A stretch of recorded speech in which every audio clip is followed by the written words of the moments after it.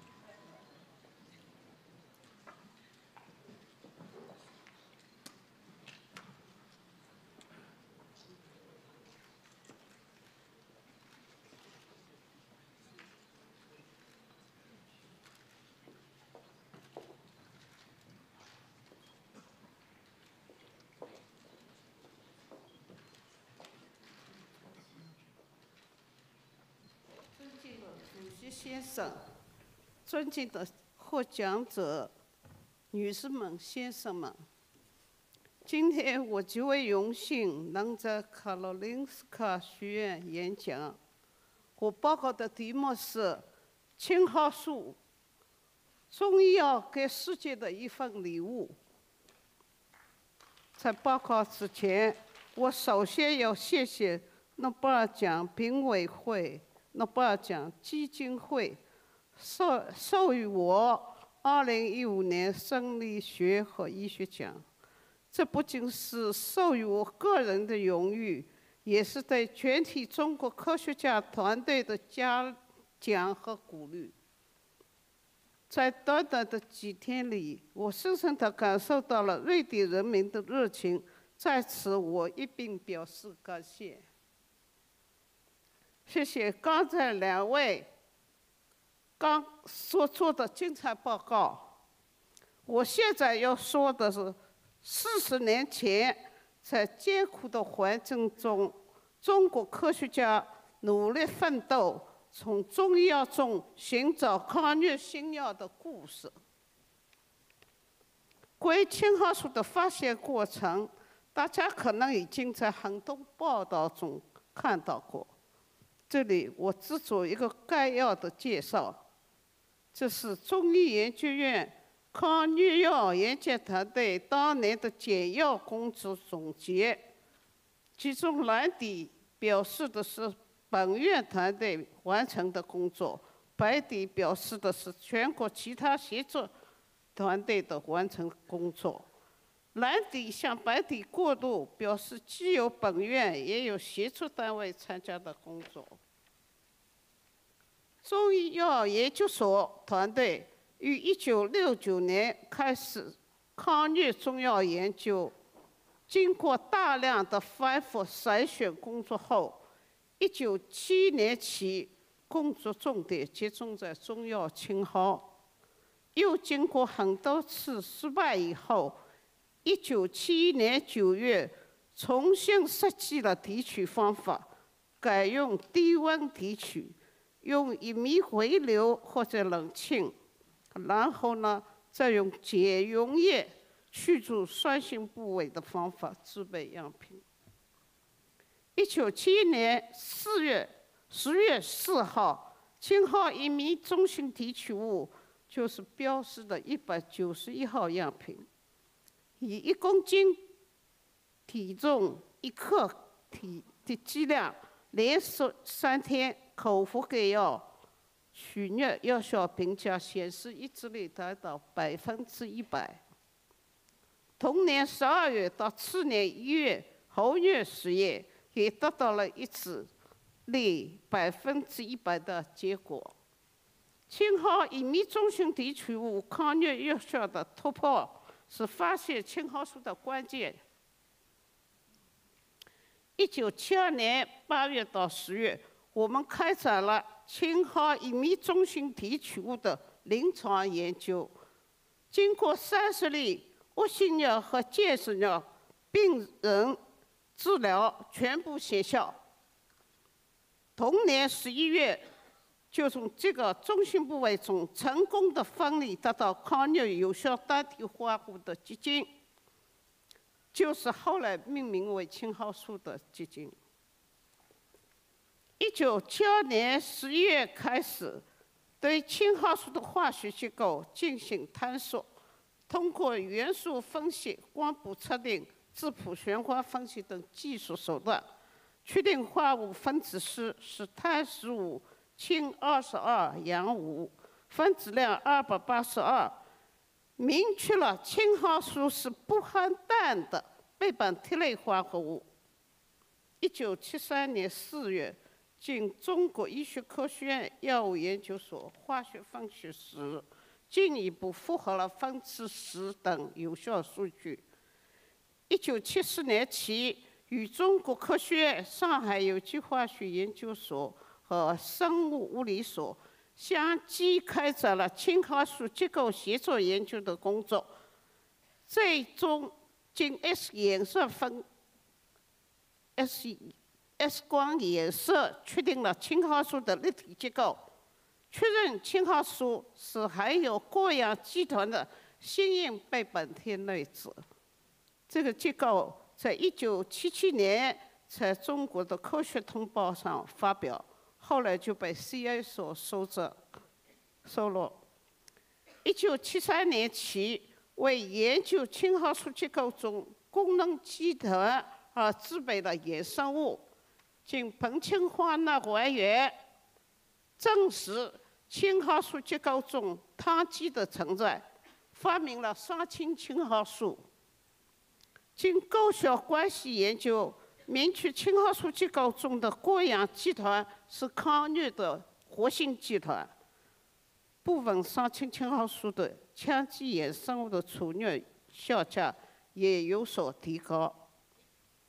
这里展示了青蒿素基衍羟基衍生物双氢青蒿素、蒿甲醚、蒿乙醚、青蒿胡子的分子结构，直到现在。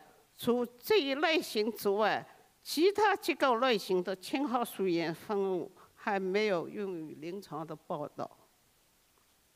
一九八六年，青蒿素获得了卫生部新药证书。一九九二年，再获得双氢青蒿素的新药证书。双氢青蒿素的药效高于青蒿素十倍，进一步体现了。青蒿素类药物高效速效低毒的特点。青蒿素引起世界关注。一九八一年，世界卫生组织、世界银行、联合国计划开发署在北京联合召开了疟疾化疗科学工作组第四次会议，有关青蒿素及其临床应用的一系列报告。在会上引起了热烈的反响。我的报告是青蒿素的化学研究。上世纪八十年代，中国已经有数千例的疟疾患者得到了青蒿素及其衍生物的有效治疗。听完这段介绍，大家可能会觉得这不过是一段普通的药物发现过程。但是当年在中国已有两千多年沿用历史的中药青蒿中，发掘出青蒿素的历程却相当艰辛。明确、明明目标明确、坚持信念是成功的前提。一九六九年，中医科学院中药研究所参加全国。五二三抗疟研究项目，经院领导研究决定，我被指令负责，并组建五二三项目课题组，承担抗疟中药的研发。这个项目在当时属于保密的重点军工项目。对于一个年轻科研人员有机会接受如此重任，我体会到了国家对我的信任，深感责任重大、任务艰巨，但我决心不辱使命，努力拼搏，请全力完成任务。学科调查为研究发现成功提供了准备。这是我刚在呃刚到中药研究所的照片，左侧是知名生生物学家娄志勤教授指导我鉴别药材。从1959年到1962年，我参加了西医学习中医班，系统学习了中医药的知识。化学家罗耶普斯特说过：“机会垂青有准备的人。”古语说：“凡是过去，皆为续缺。”然而，续缺就是一种准备。当抗疟项目给我机遇的时候，西学中的续缺为我从事青蒿素研究提供了良好的准备。信息收集为准确解释是可研究发现成功的基础。接受任务以后，我收集整理历代中医药的典籍。走访名老中医，并收集他们用于治疗疟疾的方剂和中药，同时调阅了大量的民间方药，在汇集了包括植物、动物、矿物等两千余内服外用方药的基础上，编写了以六百四十种中药为主的疟疾单列方集。正是这些信息的收集。和解释，自就了青蒿素发现的基础，也是中药新药研究有别于一般植物药研究的地方。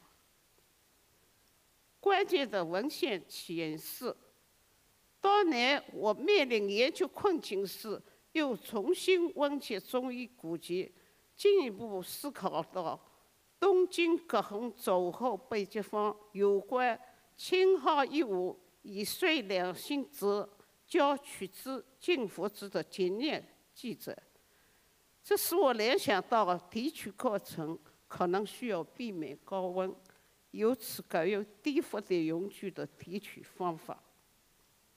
关于青蒿入药，中国最早见于马王堆三号汉末的帛书《五十二病方》，其后的《神农本草经》。《补益雷公炮治变乱》《本草纲目》等典籍都有青蒿治病的记载。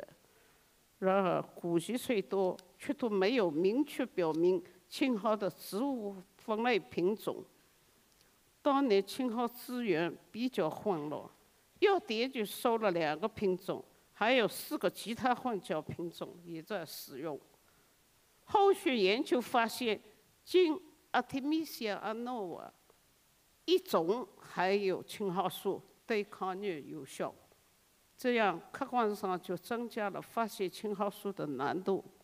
再加上青蒿素的原始物种含量高，还有药用部位、产地、采收季节、存化工艺等的影响，所以青蒿素中性提取物的成功确实来之不易。中国传统中医药。是一个丰富的宝藏，值得我们多加思考、发掘、提高。在团队面前，需要坚持不懈。七十年代，中国的科研条件比较差，为供应足够的青蒿有效部位用于临床，我们曾用水缸作为提取用剂。用由于缺乏通风设备。又接触大量溶剂，导致一些科研人员的健康受到了影响。为了尽快上临床，在动物安全性评价的基础上，我和科研团队成员自身服用有效部位提取物，以确保临床病人的安全。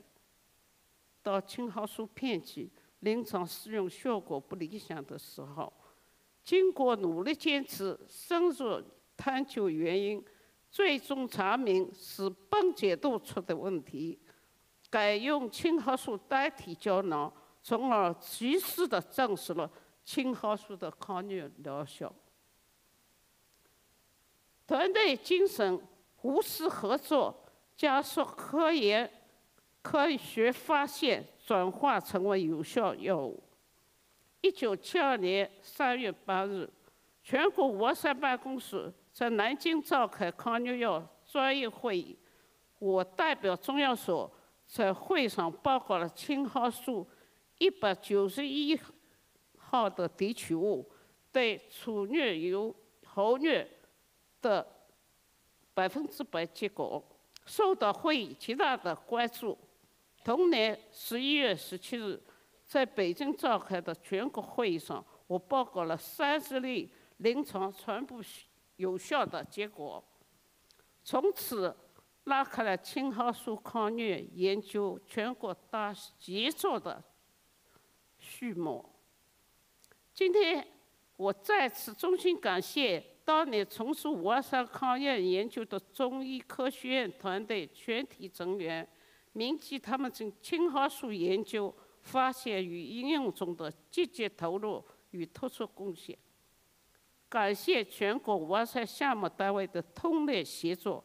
包括山东省中药研究所、云南省药物研究所、中国科学院生物物理所、中国科学院上海有机所、广州中医药大学以及军事医学院医学科学院等等。我衷心祝贺协作单位同行们所取得的多方面成果，以及对疟疾患者的热忱服务。对于全国五二三办公室在组织抗疫、抗疟项目中的不懈努力，再次表示诚挚的敬意。没有大家无私合作的团队精神，我们不可能在短期内将青蒿素贡献给世界。疟疾对世界公共卫生依然是个严重挑战。WHO 总干事。陈凤富珍在谈谈到控制疟疾时，有过这样的评价：在疟减少疟疾病例与死亡方面，全球范围正在取得的成绩，给我们留下了深刻的印象。虽然如此，据统计，全球九十七个九十七个国家和地区的三十三亿人口。仍然遭遇疟疾的威胁，其中十二亿人生活在高危区域，这些区域的患病率有可能高于千分之一。统计数据表明，二零一三年全球疟疾患者约为一亿九千八百万，疟疾导致的死亡人数约为五十八万，其中。百分之七十八是五岁以下的儿童，百分之九十的疟疾死亡病例发生在重灾区非洲，百分之七十的非洲疟疾患者应用青蒿素的复方药物治疗，但是得不到 ACT 治疗的疟疾患儿仍能达到五千六百万到六千九百万之多。疟原虫对青蒿素和其他抗疟疟药的抗药性，在大湄公河地区，包括吉普赛、老挝、缅甸、泰国和越南，恶性疟原虫已经出现对于青蒿素的抗药性。在吉普赛、泰国边境的许多地区，恶性疟原虫已经对绝大多数抗疟药产生抗药性。经看今年报告的对于青蒿素抗疟抗药性的分布图，图上红色的、黑色的，提示当地恶性尿原虫出血抗药性。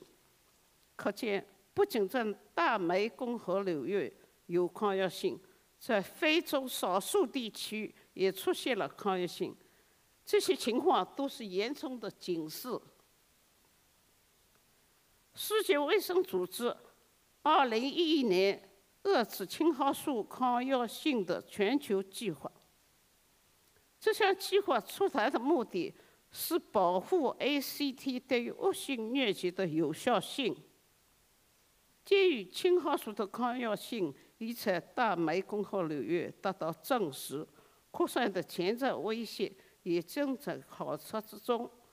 参与该计划的一百多位专家认为，在青蒿素抗药性传播到高感染地区之前，遏制和消除抗药性的机会其实十分有限。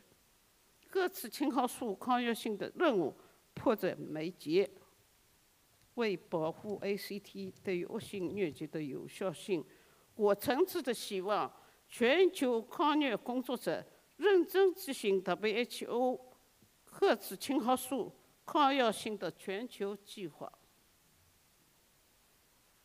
在结束之前，我想再谈一点中医药。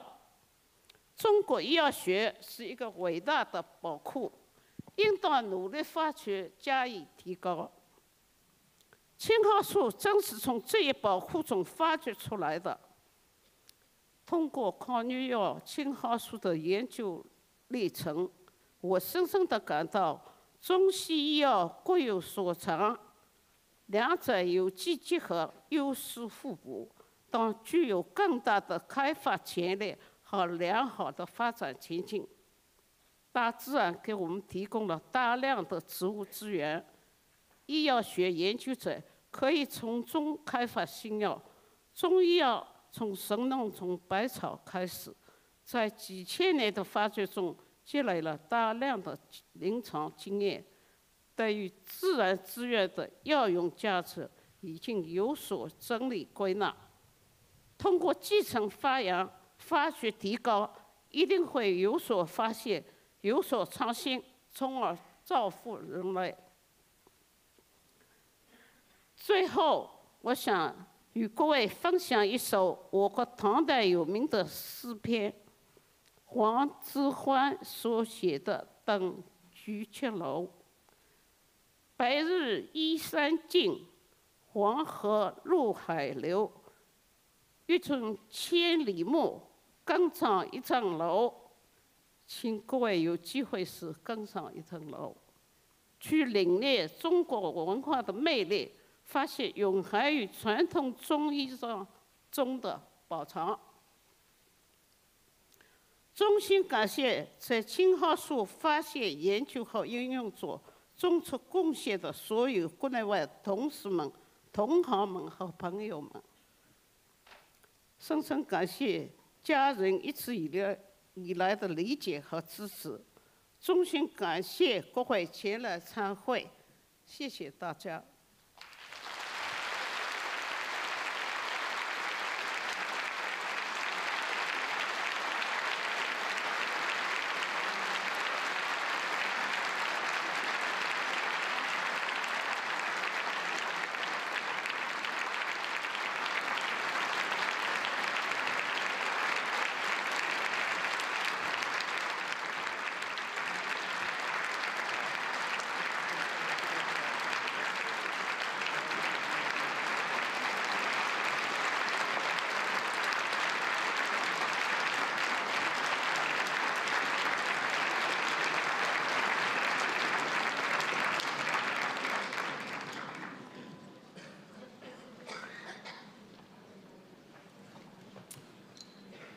The 2015 Nobel Lectures in Physiology or Medicine have now come to an end.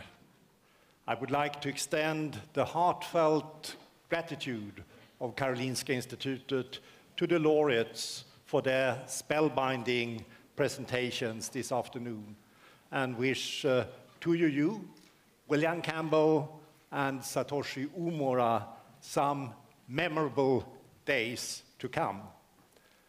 Thanks also to you in the audience for sharing this significant moment with us. May I now ask uh, Doctors uh, Campbell and Omura to join us, us here on stage for the compulsory photo session. and also, uh, may I call upon the head usher Uh, to provide some housekeeping information.